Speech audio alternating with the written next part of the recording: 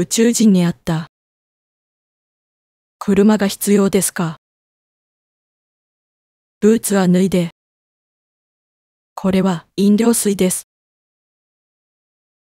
お風呂に入ったとこだよ。トムは数学が苦手だった。通訳としてここにいます。どうしてそんなに眠いの？トムの朝ごはんはゆで卵でした。男の子がドラムを叩いていた。どうして私たちを入れてくれないの？誰にも言わないって約束してくれる？紫の野球帽をかぶっている子がトムよ。会議は午後2時半からです。ミーティングは14時半から行います。